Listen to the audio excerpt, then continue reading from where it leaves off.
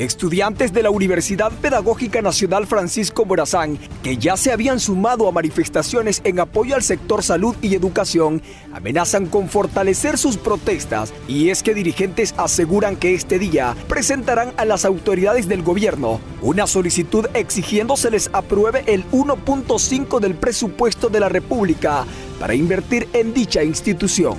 Nosotros en primera instancia estamos exigiendo exigiendo el 1.5 del presupuesto de la República al Congreso Nacional. ¿Esto para qué? Para que la UPN no dependa solamente del presupuesto de la Secretaría de Educación y pueda realizar los contratos permanentes a estos profesores, ¿verdad?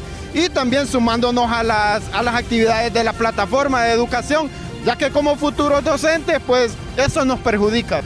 El objetivo de solicitar este presupuesto es para invertir en instalaciones y docentes. Los mismos aseguran que lucharán por lograr el mismo.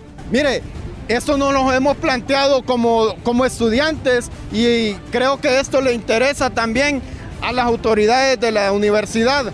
Por tal razón, nosotros vamos a dar una lucha ardua y si nos toca llegar hasta final de año, lo vamos a hacer, pero vamos a, a exigir al Congreso que nos apruebe ese 1.5% del presupuesto de la República. Es necesario. Vamos a continuar sumándonos a las actividades de la plataforma.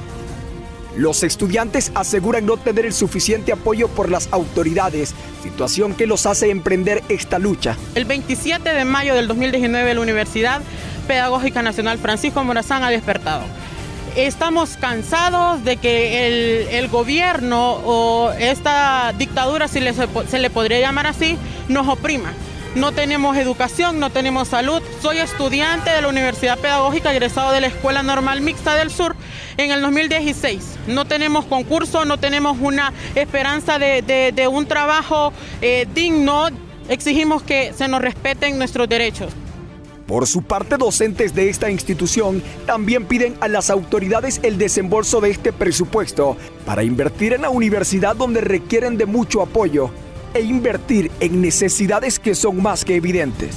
Si estamos hablando del 1.5 presupuesto o porcentaje del presupuesto general de la República para la Universidad Pedagógica Nacional, esto sería lo mejor que pudiera ocurrirle a la universidad pedagógica que ha estado tanto tiempo demandando que el gobierno ponga su mano en una institución tan insigne como es la, eh, la, Universidad Pedagógica para la formación de los profesionales docentes del país.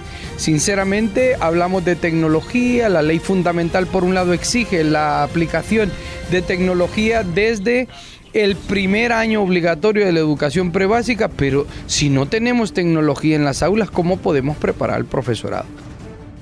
Los estudiantes manifestaron que este día presentarán esta petición a las autoridades de manera oficial y de no tener una respuesta positiva, sus protestas serán más constantes en la calle. Con las imágenes de Cristian Herrera y la edición de Norman Orellana, para HCH Noticias, Quique Vázquez.